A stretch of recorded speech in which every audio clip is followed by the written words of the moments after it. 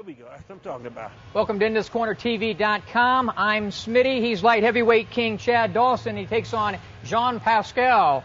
Uh, August the 14th on HBO. Kind of home cooking for him. He's Yeah. a Haitian, but he, he lives in, in, in Canada. What do you know about Pascal? Jean, Jean Pascal, what I know about him? Uh, short, compact fighter. You know, um, I don't really know much about. it. I haven't really watched him fight. I seen him fight Diaconu the second time, which wasn't. I didn't really see much. You know, I seen both of them fought a hell of a fight, but you know, I'm worried, I'm just focused on what I have to do to win this fight, and everything. I, all the thing I have to do to win the fight is use my height, my reach, my power, and just you know outbox them. The things that have brought you 29 victories. Exactly. Uh, tell us about this particular training camp. Eddie seems very happy with it. we came into camp, you know, we knew what we had to do, like every camp. We know what we got to do. We know what we're going up against. You know, it's always good to know what you're going up against and knowing and having the confidence to go in the ring and apply what you what you can do with your training. So, you know, I brought my strength and condition trainer back, Axel Murillo, you know, and everything's been going perfect. John Pascal, what do you know about this young man? He's from Haiti, but he lives in Canada, so he's going to have some home cooking going on.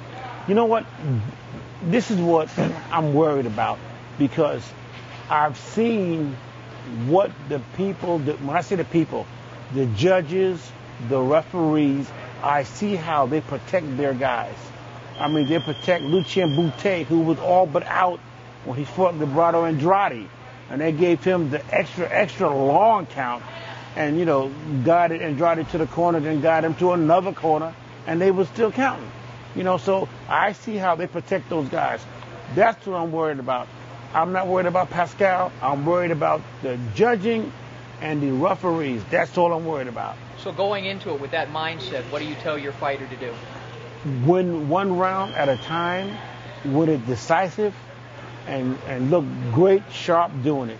No, that doesn't concern me. And, you know, it might concern, you know, think promoters and things like that, but I know what I, I know what I have to do. I know what I can do. And if I have to put them down, I know I can put them down. Left, left uppercut, left. Boom, double hook, short, short. Just turn it. Boom, boom, boom. There you go. Come back. Ready? Boom, boom, boom, boom, boom, boom, boom. There we go. Nice and compact. All your shit is right here. Nice and compact. Drop it off and step around. Ready? Drop it off, step around. Go. Boom, boom, boom, boom. Step.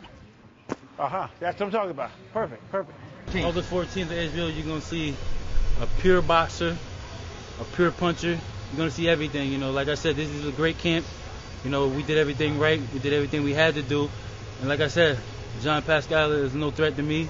He's no threat to the U.S. You know, so I'm going into this like we're going, like we're going to USA versus Canada. You know, and we're gonna drop bombs on them. And I will personally guarantee that, that he had a tougher time with me today than he'll have with Pascal August the 14th. Best of best of luck, champ. Thank you. it's a good workout.